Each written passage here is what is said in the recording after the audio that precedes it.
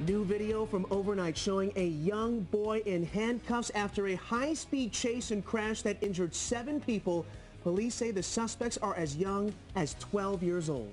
Hillary Mintz live in Milwaukee with breaking details. I'll be honest, Hill, that video of that child is hard to watch in handcuffs.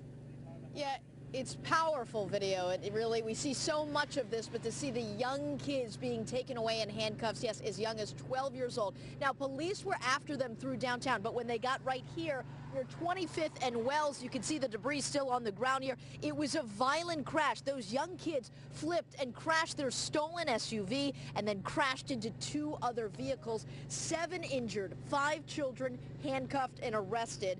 It happened around 10:30 last night. A 12-year-old and other teens were driving a stolen SUV that police say was connected to at least one recent armed robbery. Wauwatosa police and several other departments were trying to stop them. They chased after them through downtown and at 25th and Wells, the kids lost control, hit two other cars, flipped their vehicle, and that SUV still smoking as it lay upside down.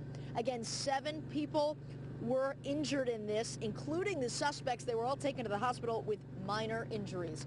We are live here near 25th and Wells. I'm Hillary Mintz, WISN 12 News this morning.